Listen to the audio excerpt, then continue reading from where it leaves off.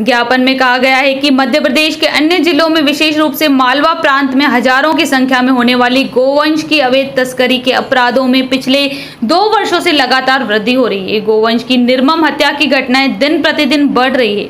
इसको देखते हुए विश्व हिंदू परिषद बजरंग दल सेलाना द्वारा नगर में वाहन रैली निकालकर तहसीलदार को एक ज्ञापन मुख्यमंत्री कलेक्टर एसडीएम के नाम दिया गया है।